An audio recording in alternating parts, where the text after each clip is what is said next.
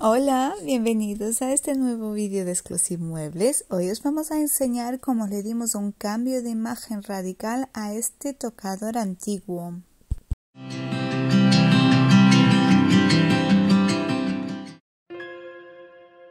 Como hacemos en todos nuestros muebles, el primer paso ha sido pues limpiarlo muy bien. Utilizamos agua templada y un jabón neutro y con un trapo frotamos muy bien todas las superficies para eliminar cualquier tipo de suciedad que pudiera tener.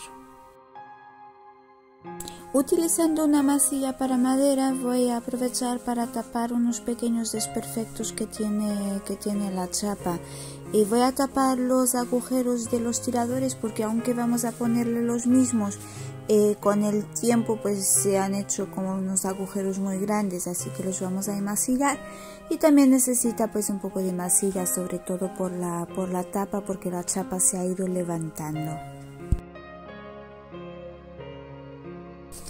El siguiente paso sería lijar, pero en este caso pues nos encontramos que el mueble está, está encerado, tiene una capa de cera importante, así que no podemos utilizar la lijadora eléctrica, tenemos que lijar con la, con la lija de mano de un grano pues bastante gordito, utilizaremos entre 80 y 100 para poder eliminar por completo toda la cera porque si no vamos a tener un problema a la hora de pintar que la pintura no se adhiera muy bien. Eh, es especialmente problemático pues en las zonas estas de las puertas que, que, son talladas y del espejo así que vamos a utilizar algo un poco más puntiagudo para conseguir arrancar de ahí todos los restos de, de cera que tiene. Comentaros que los restos de cera que nos salgan a base de, lijar y de frotar eh, también se pueden remover utilizando aguarrás.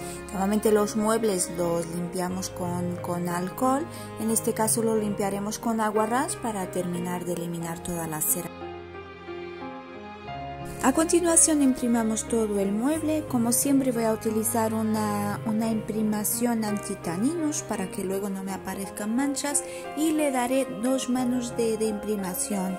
Hay veces que con una mano es suficiente, pero en este caso como el acabado ya veréis que va a ser, va a tener tonos, tonos claros, no quiero arriesgarme a que se da que salga alguna mancha, así que aplicaré dos manos. Acordaros que es muy importante que entre mano y mano de imprimación, de pintura, de barniz, de lo que sea, entre mano y mano hay que pasar una lija bastante finita que es para que la superficie esté totalmente lisa y sin ningún tipo de, grumito o de, o de pegote de pintura o de lo que sea.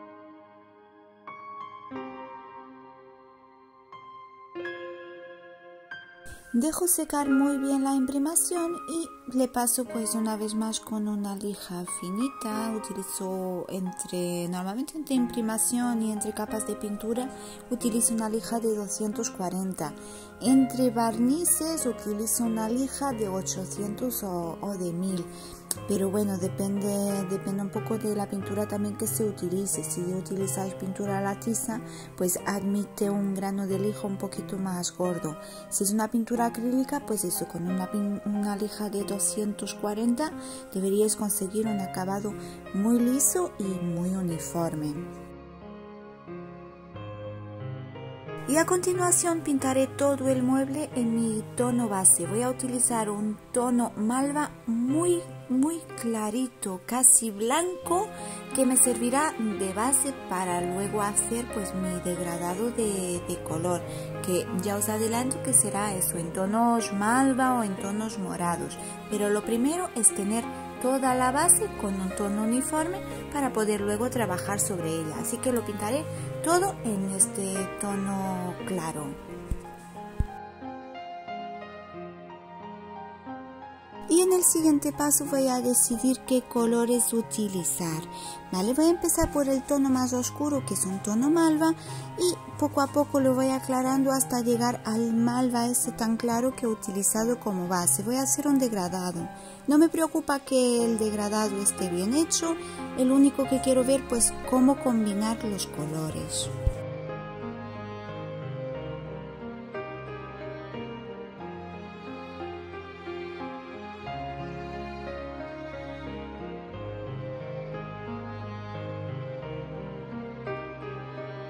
El tocador tiene unas patas pues en su estilo art deco preciosas y quiero que, que, sobresalgan. Así que en cada detallito pues voy a hacer el degradado. Voy a utilizar el tono más oscuro y en el centro el tono más claro para aportarle bastante luminosidad y que llame la atención que cuando se mira al mueble pues que las patas destaquen y en los laterales aplicaré también el mismo patrón de más oscuro hacia el más clarito en el centro. Como os he comentado en este momento no me preocupa que el difuminado quede perfecto, lo único que quiero ver es el juego de, de color. Dejo secar muy bien la pintura y el siguiente paso sí que ya es difuminar, o sea, hacer muy bien el degradado. Inicialmente he estado utilizando un tono malva, pero ahora lo que voy a hacer es hacer mi propio tono malva personalizado sobre la, sobre la madera, sobre la pieza. Voy a utilizar em, dos tonos, voy a utilizar, bueno, en realidad tres, el azul, el rojo, el blanco y también en algunos sitios el malva que ya he estado utilizando, pero principalmente el azul, el rojo y el blanco. Y así conseguir la intensidad que, me, gusta para que destaque muy bien el morado que tire en algunos sitios mm, el morado tire más azul en algunos otros va a tirar un poquito más a rojo que no sea uniforme en todo el mueble Comentaros que en este punto estoy utilizando varios pinceles, uno para cada, para cada color. ¿Vale? Uno para el azul, otro para el rojo, uno para el blanco. Y luego tengo otro que me sirve pues para difuminar en algunos, en algunos sitios que ese no le pongo pintura. Pero para que el efecto sea bonito es muy importante que tengáis varios pinceles, ¿vale? Y pues vais trabajando pues un poco sobre, sobre la marcha. Luego el estos efectos van un poquito también de, gusto personal. Si te gusta un mayor contraste o un menor contraste, pues se aplica más blanco, se aplica más, más color. Como digo, es para gustos. Lo importante es tener un pincelito para cada tono.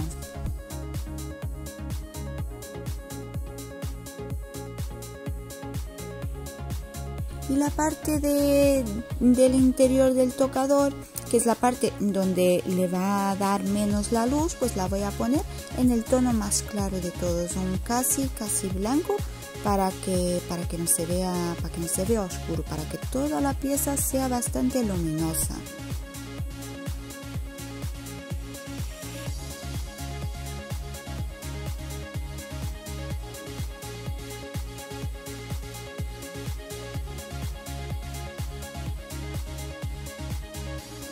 Secar muy bien la pintura y una vez más voy a pasar la lija, la lija de 240 que me servirá por un lado para que la pintura quede lisita y después también ayudará a lo que es el difuminado.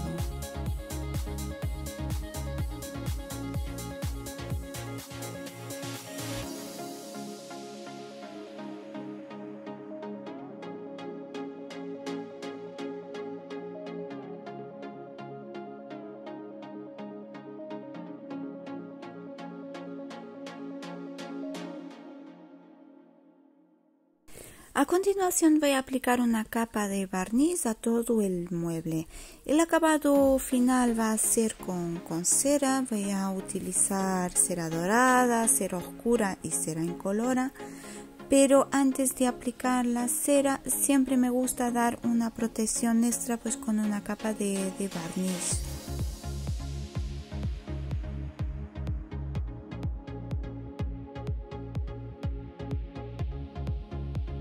Y el fantástico tocador está casi terminado, pero faltan los pequeños detalles que luego hacen toda la diferencia.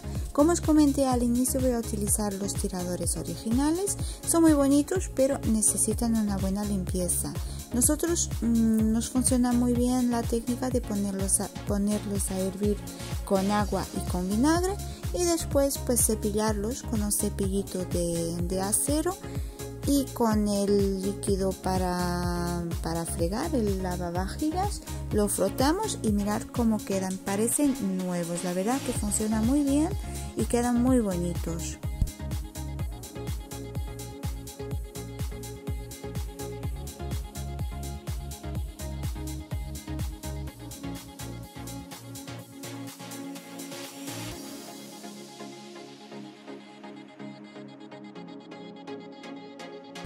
Después de bien limpios los tiradores, parece que las bisagras que también son en tono dorado, parece que están quedan muy feas, así que le damos pues con un poco de, cera dorada, le damos pues unos toquecitos para que vuelvan a brillar y queden pues acordes al, resto de, los herrajes del mueble. En este momento pues también aprovecharemos pues para montar otra vez, poner las bisagras y poner los tiradores en su sitio.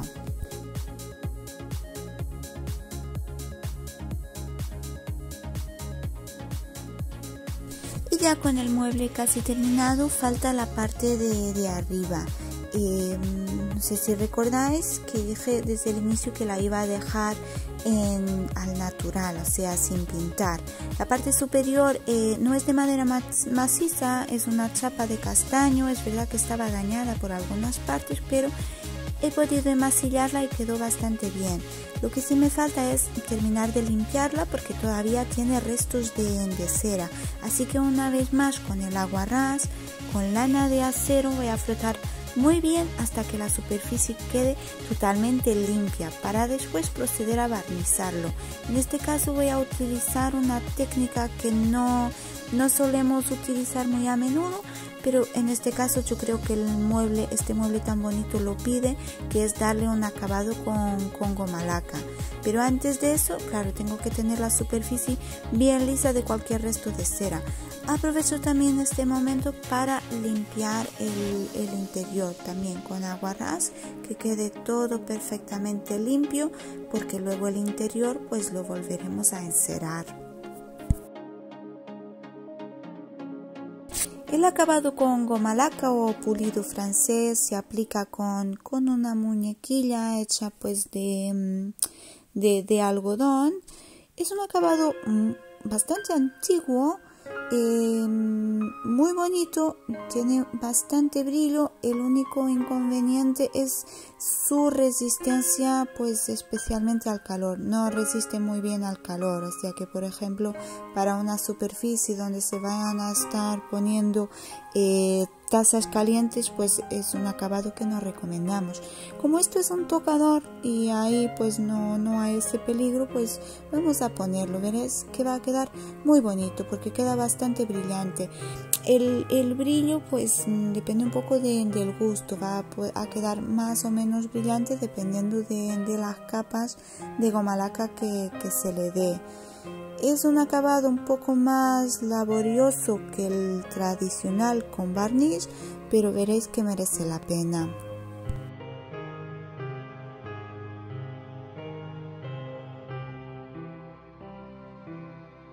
Y el último paso de esta transformación es dorar los detalles. Queremos que el mueble eh, mantenga su, su, rollo vintage. Tiene unos tallados de madera muy bonitas. Tiene sus patas art deco también muy bonitas y queremos que, que resalten.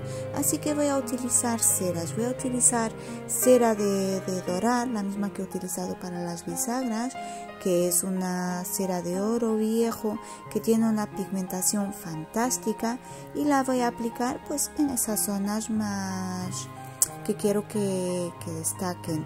Voy a utilizar también cera oscura para darle pues un, un aire más, más envejecido.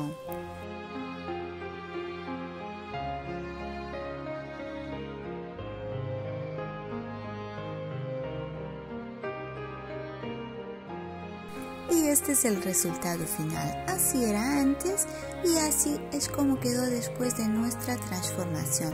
Fijaros en los detalles.